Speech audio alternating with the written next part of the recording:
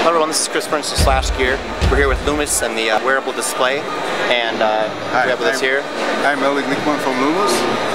So uh, what do we have here?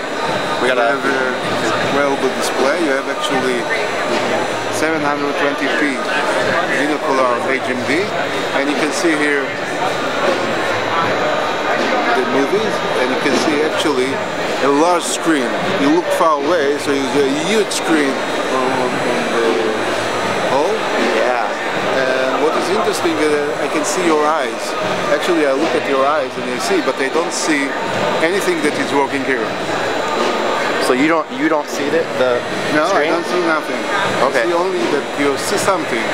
Okay. The- Let's see if we can come through there, Daniel. This is uh, it's just like uh, you can see far away, but it, it looks it's very impressive. You can see quite a bit of far away, and you can see that it's very clear, and it's it's wonderful. And these these lenses are uh, Corrections. correction lenses. So as you can see, pan down here, this is what I usually wear. Uh, if you ever seen my video, I use glasses, but they put corrective lenses in here to correct for how far I see away, and they work. Now, is this connected to This is connected to the actual computer via HDMI, Okay. and uh, this is our box.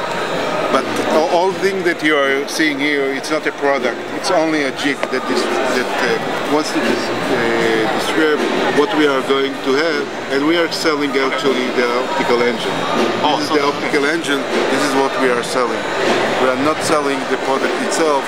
This is somebody else who take this from here and do it a product. Wonderful. Thank you very much. Okay.